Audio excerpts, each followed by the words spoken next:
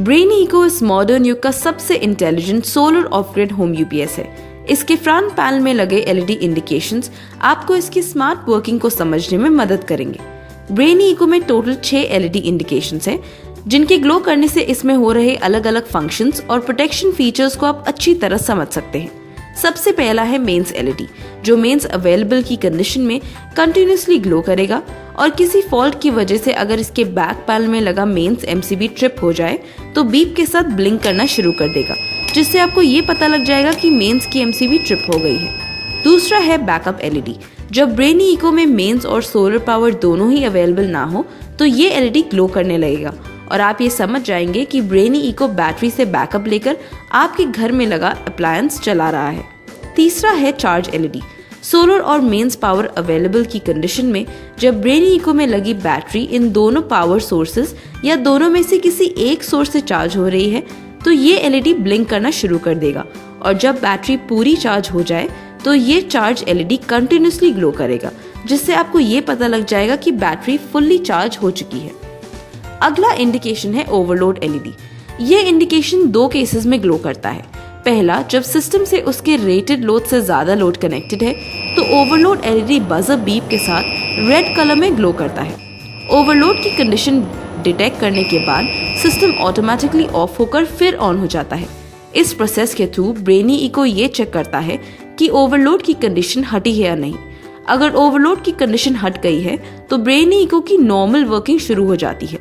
अगर सिस्टम अभी भी ओवरलोड की कंडीशन में है तो ब्रेनी को ये प्रोसेस चार बार करता है।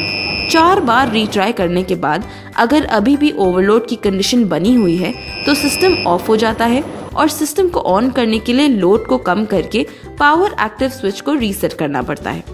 दूसरे केस में सिस्टम के आउटपुट लोड पे कोई शॉर्ट सर्किट हो जाए तो ओवरलोड बजर बीप के साथ रेड कलर में कंटिन्यूसली ऑन रहता है। शॉर्ट सर्किट की कंडीशन डिटेक्ट करने के बाद, ब्रेनी को ऑटोमेटिकली ऑफ़ होकर फिर ऑन हो जाता है।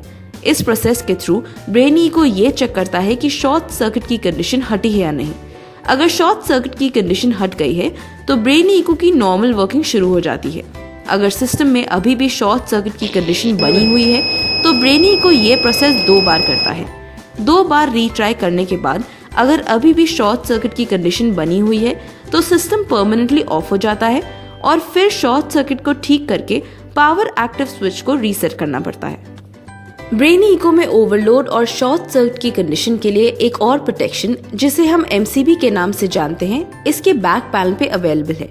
मेंस या सोलर अवेलेबल की कंडीशन में अगर सिस्टम के आउटपुट पे ओवरलोड या शॉर्ट सर्किट हो जाए तो बैक पैनल पे लगा ये एमसीबी ट्रिप हो जाता है। इस कंडीशन में मेंस एलईडी ब्लिंक करना शुरू कर देगा आपको इस कंडीशन में ओवरलोड या शॉर्ट सर्किट ठीक करके एमसीबी को ऊपर करना होता है। ऐसा करने से सिस्टम की नॉर्मल वर्किंग शुरू हो जाती है। अगला इंडिकेशन है battery low LED Brain Eco में दो बैटरी लो कट के ऑप्शन हैं। एक 10.5 वोल्ट पे, दूसरा 11 वोल्ट पे। इन दोनों वोल्टेजेस पे बैटरी डिस्चार्ज हो जाती है। अगर आपने अपने ब्रेनी इको में 10.5 वोल्ट लो कट सेट कर रखा है तो लगभग 10.8 वोल्ट पे बैटरी लो वार्निंग शुरू हो जाएगी। और बैटरी लो एलईडी इस कंडीशन में रेड कलर में ब्लिंक करना शुरू कर देगा बजर बीप के साथ। और जैसे ही बैटरी वोल्टेज 10.5 वोल्ट पे आ जाएगी तो बैटरी बैकअप देना बंद कर देगी। और इसके साथ लोड भी चलना बंद हो जाएगा। और इस कंडीशन में ब्रेनी इको में battery low LED red colour में कंटिन्यूसली ग्लो करता रहेगा। अब अगर आपने बैटरी लो को 11 वोल्ट पे सेट किया है तो लगभग 11.2 वोल्ट पे बैटरी लो वार्निंग शुरू हो जाएगा। और इस कंडीशन में battery low LED red colour में बजर बीक के साथ ब्लिंक करना शुरू कर देगा। और जैसे ही बैटरी वोल्टेज 11 वोल्ट आ जाएगी तो बैटरी बैकअप देना बंद कर देगी और लोड चलना बंद हो जाएगा। इस कंडीशन में ब्रेनी इको में बैटरी लो की एलईडी रेड कलर में कंटिन्यूसली ग्लो करता रहेगा। आखिरी एलईडी इंडिकेशन है सोलर ऑन जो ब्रेनी इको में सोलर पावर अवेलेबल है या नहीं, ये दर्शाता है।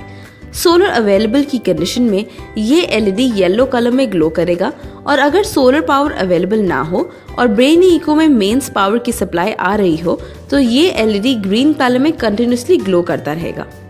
अगर ब्रेनी इको में मेंस और सोलर पावर एक साथ अवेलेबल हो तो भी ये solar on LED yellow colour में ग्लो करता है। अब हम ब्रेनी इको में अलग अलग कंडीशंस के दौरान ये एलईडी इंडिकेशन की वर्किंग को समझते हैं। सबसे पहले कंडीशन में ब्रेन इको में सोलर पावर अवेलेबल है तो solar on LED yellow colour में कंटिन्यूसली ऑन रहेगा, साथ ही बैकअप एलईडी व्हाइट कलर में ग्लो करेगा।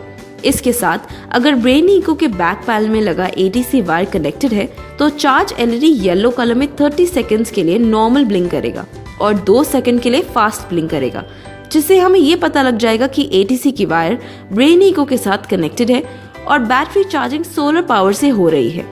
अगर ब्रेन इको के साथ एटीसी वायर कनेक्टेड ना हो तो चार्ज एलईडी येलो कलर में 30 सेकंड्स की नॉर्मल ब्लिंकिंग करता रहेगा, जिससे हमें ये पता लग जाएगा कि ब्रेन इको में एटीसी की वायर कनेक्टेड नहीं है और एटीसी की वर्किंग नहीं हो पा रही। अब दूसरा कंडीशन समझते हैं, जब ब्रेन इको के साथ सिर्फ़ मेन्स कनेक्टेड है इस कंडीशन में mains on LED continuously on रहेगी और चार्ज एलईडी ग्रीन कलर में ब्लिंक करेगी।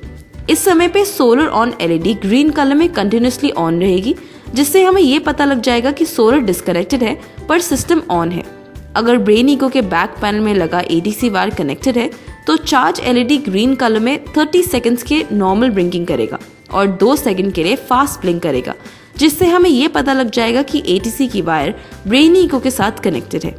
अगर ब्रेन इको के साथ एटीसी की वायर कनेक्टेड ना हो तो चार्ज एलईडी ग्रीन कलर में 30 सेकंड्स की नॉर्मल ब्लिंकिंग करता रहेगा, जिससे हमें ये पता लग जाएगा कि ब्रेनी इको में एटीसी की वायर कनेक्टेड नहीं है और बैटरी मेन से चार्ज हो रही है।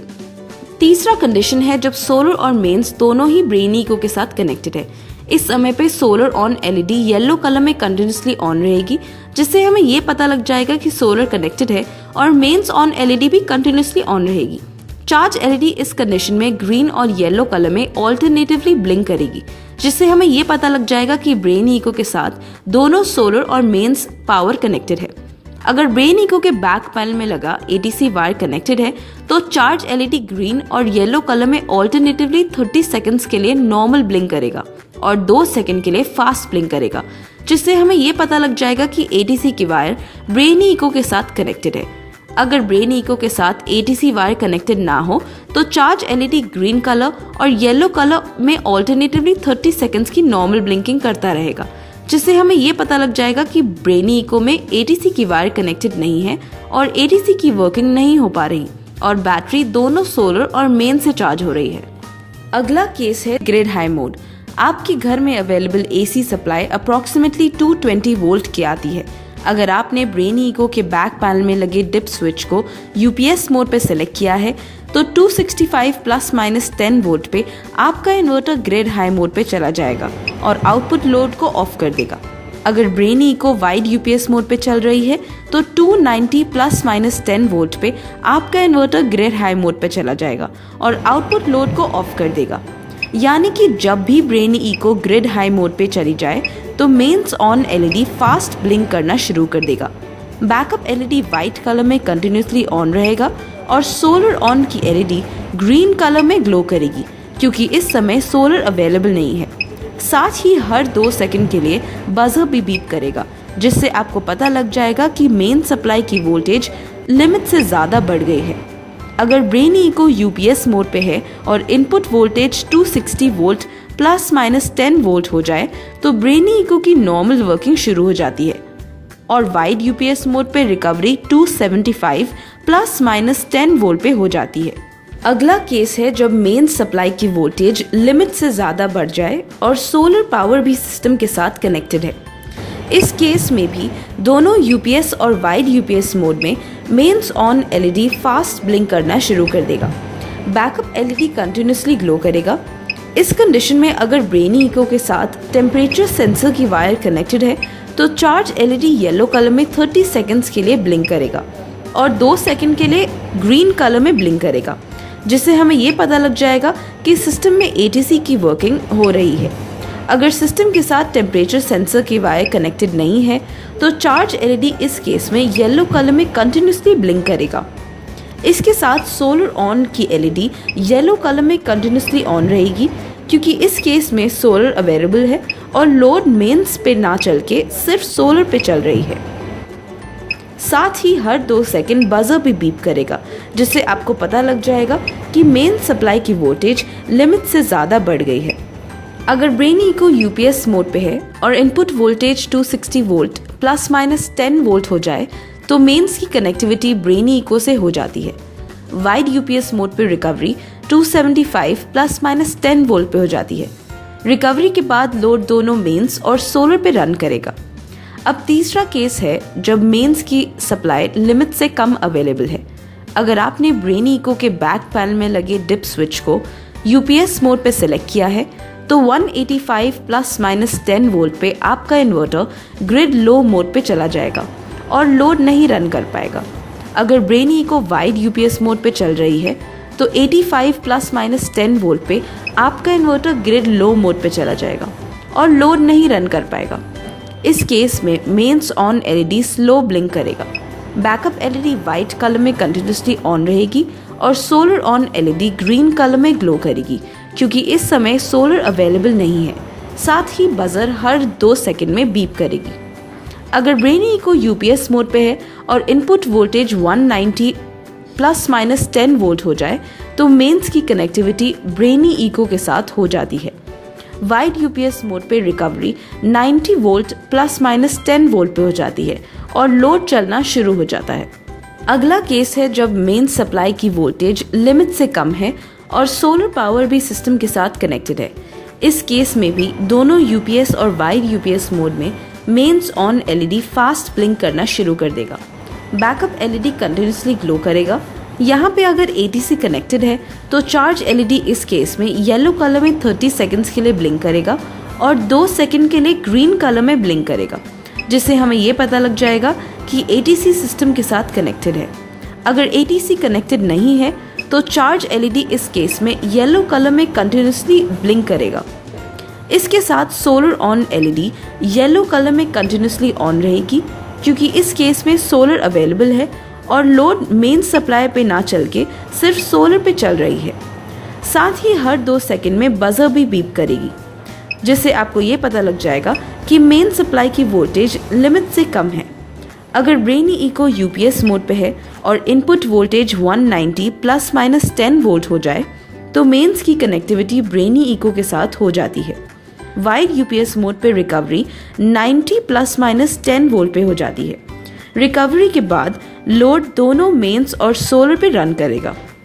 अब हम ब्रेनी इको में दिए गए सोलर प्रोटेक्शन एलईडीज को समझेंगे।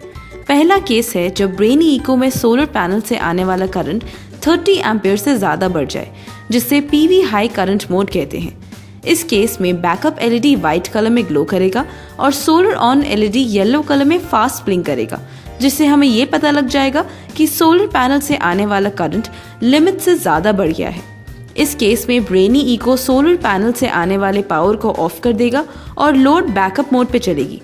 जैसे ही सोलर करंट एक सेफ़ लिमिट पे आ जाएगी तो ब्रेनी इको सोलर पावर से लोड चलाना शुरू कर देगा। दूसरा केस है जब ब्रेनी इको में सोलर पैनल से आने वाला वोल्टेज लिमिट से ज़्यादा बढ़ जाए। ब्रेनी इको में 25 वोल्ट वोल्टेज लिमिट है तो Brainy Eco PV voltage high mode में चला जाता है। इस केस में बैकअप एलईडी व्हाइट कलर में ग्लो करेगा और solar on LED yellow colour में स्लो ब्लिंक करेगा, जिससे हमें ये पता लग जाएगा कि सोलर पैनल से आने वाला वोल्टेज लिमिट से ज़्यादा बढ़ गया है। इस केस में ब्रेनी इको सोलर पैनल से आने वाले पावर को ऑफ़ कर देगा और लोड बैकअप मोड पे चलेगी। जैसे ही सोलर वोल्टेज एक सेफ़ लिमिट पे आ जाएगी तो ब्रेनी इको सोलर पावर से लोड चलाना शुरू कर देगा। तीसरा केस है, जब ब्रेनी इको से connected solar panels battery voltage से कम वोल्टेज दे रहा है। इस कंडीशन को पीवी वोल्टेज लो कहते हैं। एग्ज़ाम्पल के तौर पे, अगर आपके ब्रेनी इको से कनेक्टेड बैटरी की वोल्टेज 13 वोल्ट है और सोलर पैनल सिर्फ़ 11 वोल्ट दे पा रही है तो इस केस में ब्रेनी को पीवी वोल्टेज लो कंडीशन में चली जाएगी। इस केस में सोलर ऑन एलईडी ऑफ़ हो जाएगा और बैकअप एलईडी व्हाइट कलर में ग्लो करेगा, क्योंकि यहाँ लोड सिर्फ़ बैटरी से चल पाएगा।